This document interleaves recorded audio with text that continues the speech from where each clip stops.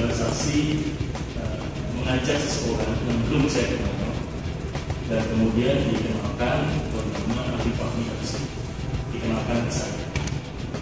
Itu saudara saksi akui kemudian saudara saksi mengatakan panggil saja kontak jadi pada saat itu saya sudah mendengar istilah kontak bisa teruskan dulu.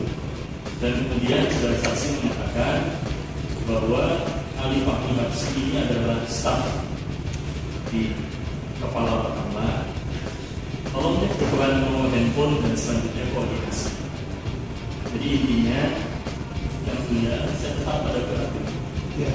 bahwa kejadian yang di itu adalah apa yang saya alami sebenarnya. Itu yang saya sampaikan. Saya jelaskan Jadi istilah kontak itu sudah ada waktu itu.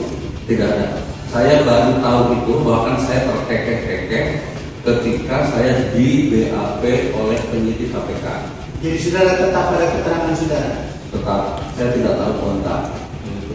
Dan memang benar itu bahwa ketika sedang makan datang. Karena memang para pejabatnya tidak ada. Dia sebelum saya kenalkan dia mengatakan saya sekarang